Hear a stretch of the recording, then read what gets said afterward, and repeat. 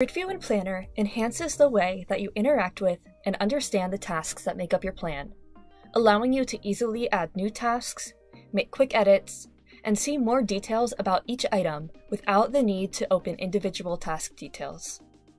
To get started, simply navigate by clicking Grid at the top of your plan. This will take you to the Grid view, where you can see all details about your tasks organized in a simple list. From here, you can easily add new tasks by clicking on Add New Task at the bottom of the grid.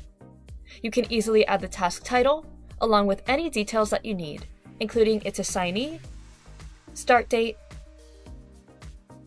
due date, bucket, and priority. When you need to change some details about a task, you can easily do that in the grid view without the need to open the task details. Simply click on the field that you need to change and select its new value.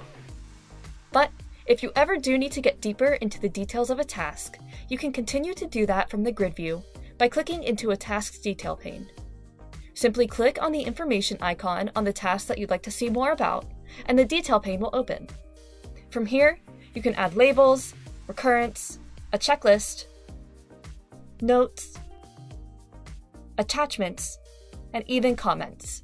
And if you ever need to focus on just a subset of your plan's tasks, you can filter the tasks that appear on the screen by clicking on Filter in the top right of the plan.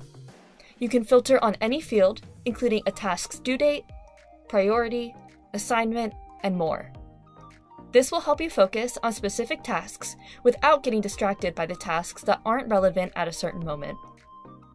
And when you've completed a task, you can easily mark it complete from the grid view as well by clicking on the circle to the left of the task. This will clearly show the task as complete by crossing it off of your list and showing it as checked off.